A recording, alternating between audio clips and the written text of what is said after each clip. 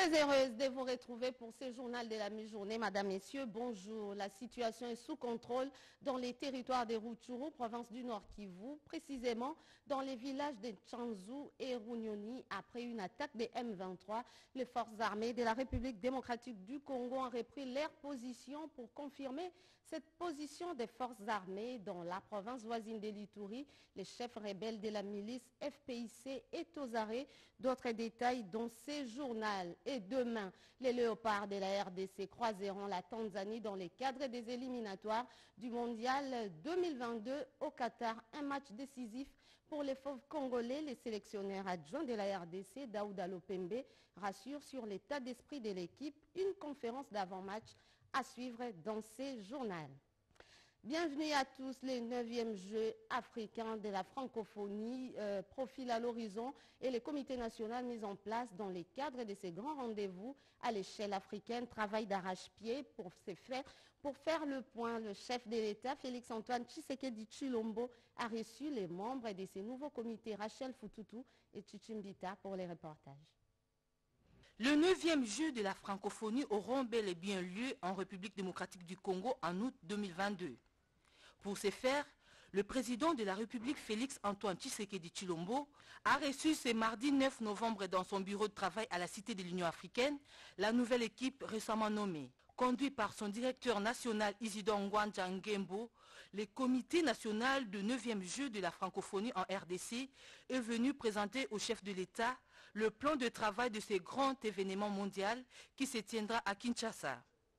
Isidore Ngwanja dit avoir reçu du président de la République Félix Tshisekedi et du gouvernement Samalou Kondé un soutien ferme, mais aussi tous les moyens nécessaires pour réussir cet événement. C'était en présence du vice-premier ministre, ministre des Affaires étrangères Christophe Lutundula et du directeur de cabinet du président de la République Guylain Nimbo. On va rapidement mettre en place des équipes euh, on va travailler avec les professionnels, on va travailler en collaboration avec l'OIF qui va euh, nous détacher des spécialistes pour que nous puissions avancer rapidement. Et puis euh, le gouvernement, tout le gouvernement est très impliqué dans l'accompagnement pour que nous puissions rapidement organiser ce G comme il a été prévu. C'est un événement important pour la RDC et c'est pour nous une occasion de montrer au monde entier que nous avons la capacité d'organiser des événements internationaux et que si nous réussissons à organiser ces Jeux de la francophonie, nous aurons la possibilité euh, demain après-demain de prétendre organiser par exemple la Coupe d'Afrique, ainsi de suite. Donc c'est un événement diplomatique, mais c'est aussi un événement économique parce qu'il y a des retombées économiques. Nous sommes confiants parce que les autorités sont confiantes. C'est depuis ce lundi 9 novembre 2021 que cette nouvelle équipe dirigeante a pris la commande de l'organisation du 9e jeu de la francophonie en RDC. Incursion d'une bande armée dans la ville de Bukavu, le vice-premier ministre et ministre de l'Intérieur et Sécurité, Daniel Aselokito, a procédé à l'évaluation de la situation sécuritaire dans la province du Sud Kivu avec les forces vives. Au deuxième jour des consultations, le patron de la territoriale a appelé à une conjonction des efforts. C'est un commentaire de José Baïtouambo sur les images d'Ibrahim Chakou. La situation sécuritaire qui prévaut actuellement dans la province du Sud Kivu, précisément à Bukavu, appelle à des thérapies de choc pour contrer les incursions à répétition, source d'instabilité de la province, en mission d'évaluation. Dans cette partie du pays, le vice-premier ministre, ministre de l'Intérieur et Sécurité, tente de convaincre toutes les couches sociales à adhérer à la vision de pacification du président de la République, Félix Antoine Tshisekedi Chilombo. Daniel Asselo Kitowakoy a lancé des consultations avec des acteurs clés dont la recherche de solutions à moyen et long terme de responsables de l'Assemblée provinciale, les membres du gouvernement provincial, les forces vives de la province et la société civile, tous sont appelés à regarder dans la même direction car la paix est une affaire de tous. Euh, on continue à suivre les événements pour savoir de quoi s'agissait-il au juste parce que jusque-là, nous n'avons pas tellement toutes les précisions nécessaires. Le vice-premier ministre, ministre de l'Intérieur et Sécurité, Daniel Asselo Kitowakoy, qui a toujours prôné la paix comme moyen de sortir de la crise, a transmis les recommandations du commandant suprême pour décourager le fils et filles de la province à adhérer au mouvement criminel. Plus jamais la guerre à Bukavu, plus jamais l'insécurité à Bukavu a martelé le patron de la territoriale. Il a sémé la terreur pendant plusieurs années dans la province de l'Itourie. Le chef rebelle de la milice FPIC est entre les mains de forces de défense et de sécurité. Une arrestation rendue possible avec la collaboration de la population locale. Suivez cela en images et commentaires. Il s'appelle Serge Sekabo, 30 ans révolu, général autoproclamé de la milice FP communément appelée Chinia Kilima. Ce chef rebelle, arrêté par les forces de défense et de sécurité au quartier Kindia en ville de Bounia, était à la base de plusieurs attaques en territoire du Roumo, affirme le lieutenant Jinungongo, porte-parole de FARDC en Ituri. Il est l'auteur des attaques sur Nyakunde, Marabo. Ce n'est pas une personne à présenter. Mais aujourd'hui, grâce à la vigilance des forces armées, en ville comme en brousse, les forces armées ont maîtrisé ces messieurs et cela montre notre détermination dans la conduite des opérations, mais aussi à cette période, nous avons ravivé nos services de renseignement. Appréhendé grâce à la dénonciation de la population, preuve d'une bonne collaboration avec les services de défense et de sécurité. Toutefois, le lieutenant Junungongo souhaite voir la population raviver cette coopération pour permettre au FRDC de détruire complètement tous les réseaux criminels à cette période de l'état de siège. Nous encourageons tous ceux-là qui ont suivi la logique et les mots d'ordre du commandant des opérations, le lieutenant général Luboya Chamadjoni, à collaborer à dénoncer tous les malfrats qui sont parmi nous. Et voilà aujourd'hui, Serge, autoproclamé général, Malaïka, des, groupes armés Chinyakilima et dans le filet des forces armées de la République démocratique du Congo. Place à la justice et il va répondre à ses actes. Après sa présentation au gouverneur de province, le lieutenant général Boyanka Chamadjouni, ce chef de file des miliciens FPIC, a été mis à la disposition de la justice militaire. Justement, la province de l'Itourie était au cœur des débats à la Chambre basse du Parlement où il a été question de l'examen du rapport sur les tueries dans cette partie du pays, Sylvie Moimbo. Nous vous remettons ces rapports qui portent sur les massacres à territoire de Beni au nord Kivu, et en Ituri, dans le territoire d'Irumu, pour que vous attaquez président du caucus du Nord Kivu, vous vous imprégniez euh, de tout ce qu'on a eu à reprendre dans ces rapports. J'accuse bonne réception de ce, de ce rapport. Euh, tout d'abord, j'aimerais commencer par euh, féliciter l'honorable Yotama et tous ceux qui ont collaboré avec lui. Comme vous le voyez, il est important en termes de devoir de mémoire que toutes ces personnes qui ont perdu leur vie, nous puissions au moins, dans ce rapport ici, s'assurer qu'ils ne seront pas oubliés. Parce que toute vie qui a été perdue au Nord Kivu, et même en Ituri, doit être connue pour que la nation congolaise, la communauté autant nationale qu'internationale, soit saisie de ce qu'on peut presque qualifier d'acte de génocide qui se passe dans notre partie est du pays. Donc, nous en ferons bon usage, honorable, pour poursuivre les plaidoyers et s'assurer que non seulement toutes ces personnes décédées, fauchées dans la vie par des inciviques qui les ont pris violemment et euh, assassinés, eh bien, dans ce rapport, ça nous permettra non seulement de nous rappeler d'eux, mais de s'assurer que toute la nation ne les oubliera pas. Donc, le travail maintenant qui va rester, cher honorable, sera de s'assurer que nous exploitions ce rapport pour qu'on puisse continuer notre plaidoyer que nous faisons tous ensemble pour le retour de la paix et la sécurité. j'aimerais clôturer en disant, une fois de plus, toutes nos condoléances et notre compassion à nos populations de l'Est, du Nord Kivu et de l'Uturi, qui continuent malheureusement chaque jour être assassinés sauvagement par les inciviques. Le 9e Jeux africains, on en parle encore dans ces journaux, cette fois au ministère des Affaires étrangères. Pour mettre les choses au point, le vice-premier ministre et ministre des Affaires étrangères, Christophe Lutundula Apala, était en réunion avec les comités de pilotage pour l'élaboration d'un chronogramme. Doris Mozotambo et Dichala Katala et Henri Amouri nous en parlent dans ces reportages. Le chronomètre ne s'arrête pas, le jour avance vite et le neuvième jeu s'approche à grands pas. Le vice-premier ministre, ministre des Affaires étrangères et de la coopération internationale, Christophe Lutundula, qui préside le comité de pilotage pour la réussite de ce grand événement en août 2022, a, au cours de la première réunion du dit comité, recommandé un état des lieux complet et l'élaboration d'un tableau de bord budgétisé avec un chronogramme clair afin que le suivi soit efficace. Les infrastructures doivent être prêtes trois mois avant les Jeux, y compris le village des Jeux en présence des ministres sectoriels et autres autorités impliquées dans la bonne tenue de ce neuvième jeu, les assurances du ministre d'État aux infrastructures ont permis aux participants à cette réunion d'avoir une idée sur l'évaluation des travaux des infrastructures qui abriteront ces jeux. Ce qui est de bon augure pour que chacun redouble d'efforts dans son secteur afin que le pays tienne ses engagements. Nouvellement nommée ambassadeur de la République démocratique du Congo en France, Isabelle Machik Chombe a été reçue par le président du Sénat, Modeste Batiloukwebo. La diplomate congolaise a réaffirmé sa volonté de rapprocher la diaspora des artistes congolais, les comptes rendus avec Edith Chalakatala.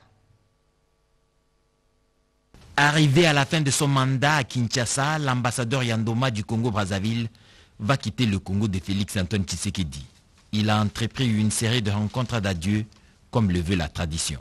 Au Sénat, Modeste Batiloukwebo l'a très bien accueilli, autant que les relations entre les deux capitales sont fraternelles et cordiales. Nouvellement nommée ambassadrice de Kinshasa à Paris, Isabelle Chombe est venue auprès du président du Sénat, Modeste Bahati, pour recevoir des sages conseils avant sa prise de fonction. En termes de priorité, cette diplomate s'engage à travailler pour concilier les vues entre une partie de la diaspora congolaise les artistes musiciens.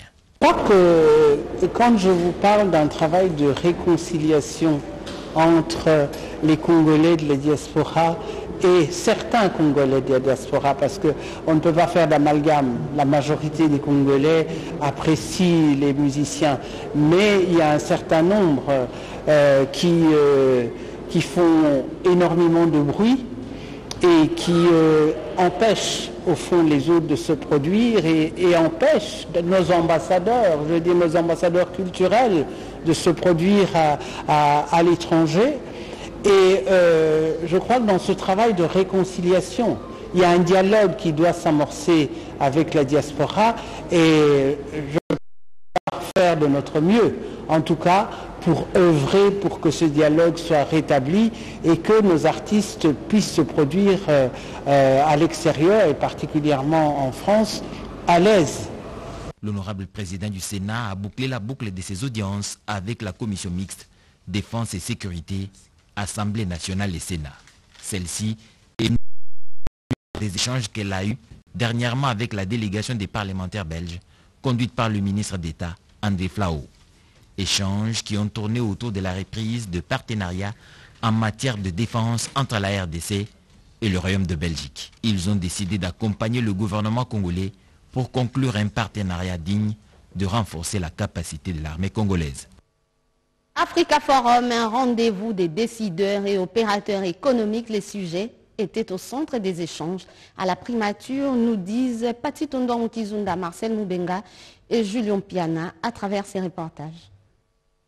La République démocratique du Congo occupe une bonne position pour la transition énergétique attendue par tous, étant producteur de cobalt et lithium, précurseur des batteries. Dans le cadre des préparatifs des DRC Africa Business Forum, le Premier ministre et chef du gouvernement Jean-Michel Sama Lukonde Kenge a eu droit à la restitution de l'étude menée par Bloomberg qui démontre que la République démocratique du Congo est au centre de la production des voitures électriques qui devront être mises sur les marchés d'ici 2025 et également parmi les producteurs compte tenu de sa plus grande réserve de cobalt et de lithium. Antonio Pedro, secrétaire exécutif adjoint de la CEA, Commission économique des Nations Unies pour l'Afrique, qui accompagne la République démocratique du Congo dans l'organisation de ces forums, a reçu ce mardi 9 novembre 2021 les assurances du Premier ministre Jean-Michel Sama Lukonde Kienge sur l'implication de son gouvernement dans la mise en œuvre de cette transformation.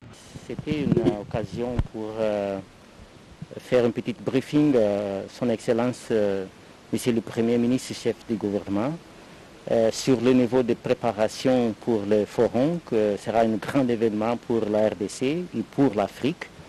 Euh, aujourd'hui, nous avons partagé des indicateurs très importants qui confirment la position, l'avantage comparatif de la RDC niveau de la production de précurseurs de, batteries. selon les chiffres que nous avons déjà, et qui seront partagés avec le gouvernement aujourd'hui lorsqu'on va faire la présentation du rapport de Bloomberg. La RDC euh, peut produire euh, les précurseurs de batteries trois fois moins cher que les États-Unis et la Chine et deux fois moins cher que la Pologne. Euh, il y a toute une structure pour accompagner cet effort, la collaboration initiale que nous avons eue avec le gouvernement pour l'organisation du forum après le forum c'est la mise en œuvre euh, qui c'est plus important Et comme annoncé par Antonio Pedro, quelques heures après, le chef de l'exécutif national a suivi par visioconférence la présentation de l'étude réalisée par Bloomberg. Cette grande rencontre d'affaires se tiendra le 24 et 25 novembre prochain en République démocratique du Congo. Justice, procès, Boukangalonzo, des exceptions ont été soulevées sur l'incompétence de la Cour constitutionnelle pour statuer sur ces dossiers par les collectifs des avocats des prévenus Matata, Kitebi et Grobler. La Cour constitutionnelle va se prononcer dans huit jours, nous dit Jacques Tubouabamej. La Cour constitutionnelle a été saisie par les procureurs généraux pour juger trois prévenus l'ancien Premier ministre Matata Pogno Mapon, l'ancien ministre délégué aux Finances, Kitebi Kibolnvoul et l'investisseur Grobler Christo. Dans l'affaire Bukangalonzo, ces trois prévenus sont poursuivis pour détournement des deniers publics, presque 205 millions de dollars. En matière de préalable, les avocats des prévenus ont demandé à la Cour constitutionnelle de ne pas accepter que les avocats de la République soient partis au procès, car c'est contre la loi. La République a été demandée de se retirer de barre par la Cour.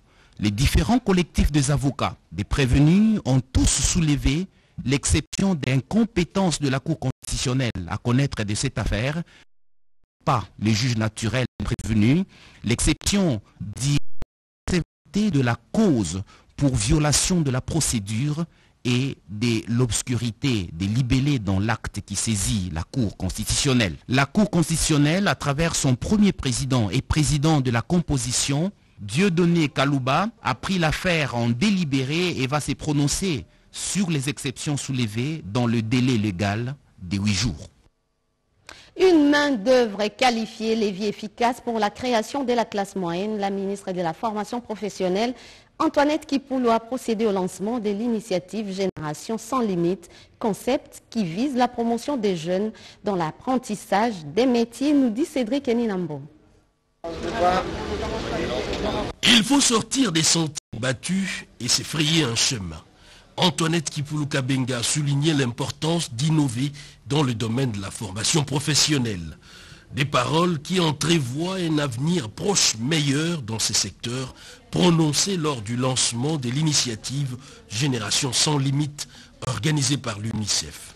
Les objectifs de Génération sans limite s'inscrivent dans la droite ligne des préoccupations de son Excellence, M. le Président de la République Félix Antoine Tshisekedi C'est pour cette raison que le gouvernement de la République dirigé par le Premier ministre, Son Excellence Jean-Michel de Kienge, chef du gouvernement, s'efforce de matérialiser les objectifs du développement durable délai en cycle, notamment l'élimination de la pauvreté par la création d'emplois et l'amélioration de la qualité de l'éducation. Le terme est bien choisi en tant que guichet unique de la certification et des qualifications, les ministères de la formation professionnelle et métiers s'engagent donc à accompagner Kin Digital Academy, l'un des organisateurs dans la promotion de jeunes, à travers une formation continue et les développements de compétences. Toutes nos excuses en rapport avec la mauvaise qualité des sons. Les civisme fiscal et la gestion des deniers publics en République démocratique du Congo, une campagne de sensibilisation sera lancée dans le tout prochain jour à Kinshasa, une initiative de la coordination des changements des mentalités CCM. C'est un reportage de Jean-René Kabamba et Serge Merle-Matin. C'est sous l'œil vigilant et minutieux du coordinateur principal de la coordination pour les changements des mentalités, Jacques Kangoulia Moutomba et de toute son équipe que ces opérations se sont déroulées dans une ambiance très cordiale dans les différentes salles réservées. C'est là, en une seule journée. Il s'est agi de repérer, trier et d'analyser les dossiers des candidats devant faire partie de l'équipe de sensibilisation au civisme fiscal et à la gestion des derniers publics. Une campagne nationale prévue dans les tout prochains jours dans le but de conscientiser les Congolaises et Congolais sur l'importance de payer les impôts en vue de développer la République démocratique du Congo. Le but de l'opération, c'est la continuité de ce qui a été fait au Palais du Peuple avec le chef de l'État euh, lors du lancement de la campagne de sensibilisation au civisme fiscal. Aujourd'hui, nous sommes en train de recruter les volontaires et qui vont aller sur le terrain pour pouvoir faire du porte-à-porte commencer à sensibiliser nos concitoyens, éveiller leur conscience pour que chacun comprenne qu'on ne peut pas développer un pays si on ne s'acquitte pas de ses devoirs fiscaux. À la sortie de son entretien de recrutement, l'un des candidats s'est exprimé. Quand j'ai entendu parler de ces mots, le, civisme fiscal, c'est ça qui m'a intéressé. C'est pourquoi vous m'avez vu ici venir déposer mon CV et je suis passé par l'interview. Après cette première phase, s'en suivra une série de formations sur l'initiation à la fiscalité. La ministre, après le président de la République, séjourne dans la province du Kwilu. Nana Manouanina a eu des échanges avec les notables dans les cadres de sa campagne sur la cohésion et l'unité nationale, nous dit Jacques Gaboba Sedouga. C'était une journée exceptionnelle pour les notables et la force vive de Kikwit dans la province de Kwilu. En séjour de travail dans cette partie de la République démocratique du Congo, la ministre après le président de la République, professeur Nana Manonina Kyumba, a tenu une conférence sur la cohésion et l'unité nationale qu'a choisi l'université de Kikwit. Très ovationnée par la foule en liesse sur place, la ministre Manouanina a sensibilisé la population à prendre conscience de l'état de la province et du pays afin de s'impliquer activement et positivement à la reconstruction de la République démocratique du Congo. Nous voulons assez que les gens maintiennent ou renforcent la cohésion et l'unité nationale, que les gens se pardonnent là où il y a eu de fautes, que les gens se supportent, que les gens s'aiment, que nous puissions rester unis pour reconstruire notre pays. Telle est la volonté du chef de l'État, parce que dans la, division, nous ne saurons construire dans le tribalisme, dans le népotisme, dans les antivaleurs d'une façon brève, nous ne saurons pas reconstruire notre pays. Le chef veut que nous puissions nous porter, nous aimer et puis ensemble reconstruire notre pays. La notabilité dans son ensemble a apprécié ce message et a promis son accompagnement de cette vision du garant de la nation dans cette campagne d'éveil patriotique. C'est un indicateur qui détermine l'état de santé de la planète. Les couverts forestiers désignent l'ensemble formé par les cimes des arbres et de la forêt. Le Canada s'engage à accompagner les fonds forestiers nationaux dans la reconstitution de ces couverts. D'autres détails dans ces reportages de Nene Mainzana et René Mwamou. Le Canada et la République démocratique du Congo vont travailler ensemble pour la reconstruction du couvert forestier à travers les fonds forestiers nationaux. À Glasgow, les deux institutions ont manifesté la volonté de concrétiser leur choix en 2022. On va faire un voyage d'exploration pour discuter en, profondeur avec le ministère, avec le Fonds forestier national, avec le directeur et son équipe pour voir si euh, on peut quand même faire un projet d'agriculture régénérative euh, ensemble avec, avec les entités congolaises. Un projet d'agroforesterie est prévu. Il y a de l'expérience euh, à Vancouver et en général au Canada, pas seulement de carbone, mais de déboisement et de boisement. Mais en Afrique, ils ont travaillé avec l'Haïti, euh, où ils ont réussi à faire certains projets agro-forestiers, euh, agro-pastoral. Nous voyons donc que le début de l'année prochaine, ils vont venir pour qu'ensemble nous puissions voir comment cette collaboration peut devenir une réalité pour qu'enfin ce grand projet ou programme du chef de l'État d'un milliard d'arbres soit aussi une réalité. À travers leur aide, leur collaboration, je vais dire aussi leur financement. La ville de Béni, province du Nord Kivu, vient de se doter d'une nouvelle formation médicale, fruit de la coopération entre la République démocratique du Congo, l'Union européenne et le gouvernement belge. L'ouvrage a été réceptionné par l'administrateur militaire du territoire de Béni, le colonel Omeonga. Centre de santé de Katiri et en zone de santé de Kyondo dans le territoire de Béni a désormais un nouveau bâtiment construit sous les financements de l'Union européenne et le gouvernement belge. La cérémonie d'inauguration de cet ouvrage exécuté par l'ULB Coopération dans le projet PADIS a été effective le 28 octobre 2021. C'est l'administrateur du territoire de Béni, le colonel Euta Omeonga Charles, qui a réceptionné le dit bâtiment au nom du gouverneur de province du Nord Kivu, qui n'a pas caché sa satisfaction en louant l'ULB Coopération qui vient de produire résultats palpables sur le terrain. Nous disons merci à nos partenaires de ULB par rapport à ce qu'ils ont fait ça. Ça, ça montre qu'ils sont de cœur avec le peuple congolais.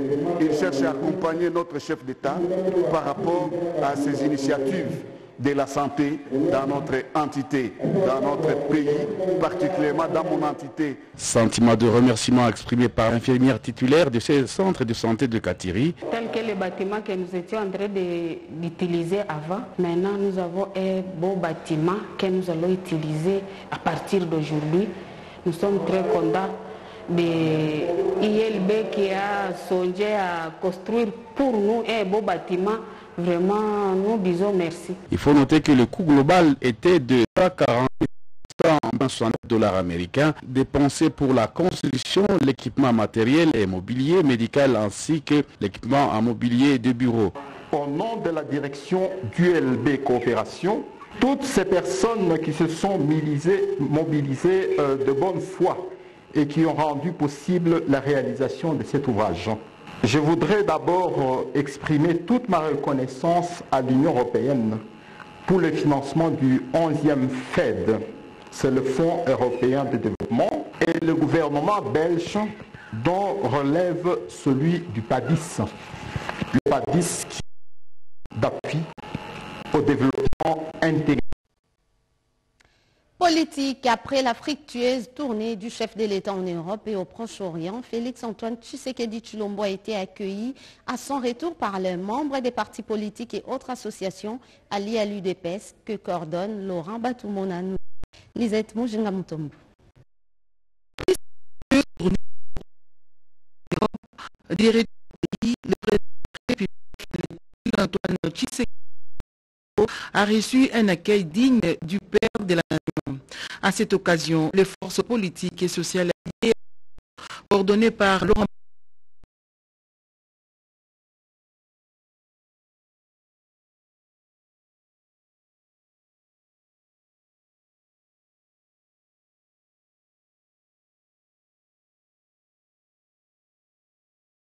une ambiance festive.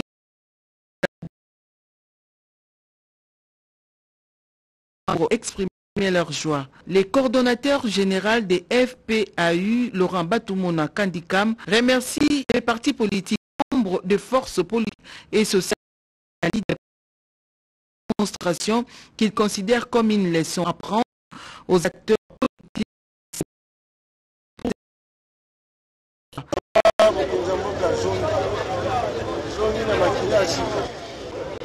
Le chef de l'État est rentré avec force. À ceux qui croient qu'il n'y aura pas élection,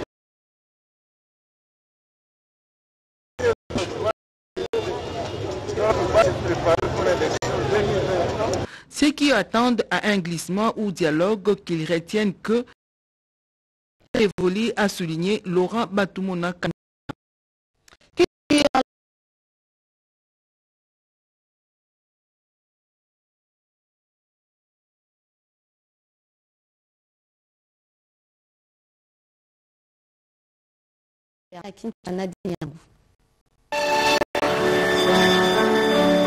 Une musique exotique qui a captivé les Congolais, habitués à la rumba.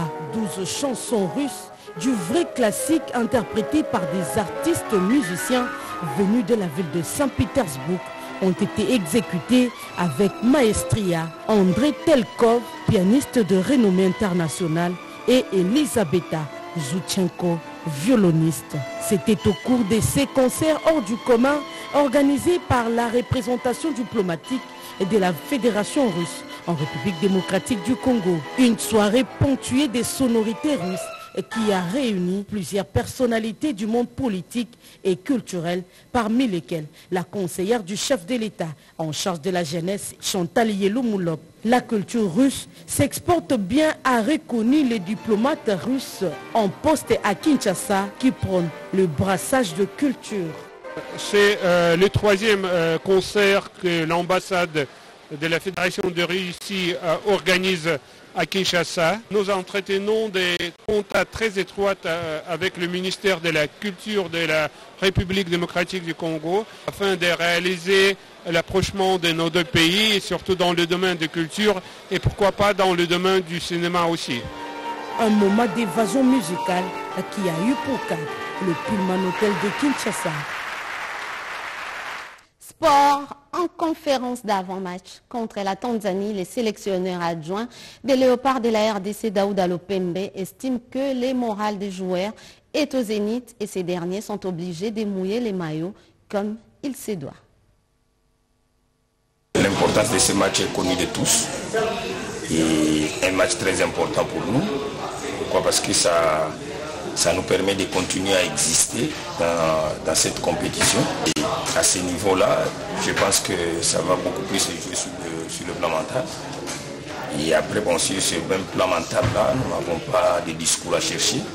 Les joueurs savent qu'ils jouent gros et ils savent qu'ils ont tout un pays, tout un peuple euh, derrière eux. Il y a une histoire qu'ils doivent écrire. Donc euh, je pense que sur ce côté-là, il n'y a, pas, a pas trop de problème. Donc euh, il va falloir que nous puissions continuer à travailler, parce que nous avons aussi une séance aujourd'hui pour essayer de mettre les choses un peu en place et faire en sorte que nous puissions être nous-mêmes, essayer d'être vraiment concentrés parce que nous jouons à l'extérieur, être prudent, être coriace, costaud dans l'entrée-jeu et pouvoir euh, euh, mettre à procurer pendant ces matchs-là. Et plus nous allons rentrer dans les matchs à temps, et, moins nous serons en danger, l'adversaire peut lutter. Fin de ce journal de Nadine Kiloso Masta Djabou, réalisé par Nadine Futuka Dorcas et Sengo, a concouru à sa rédaction. Madame, Messieurs, merci à vous de l'avoir suivi. Au revoir.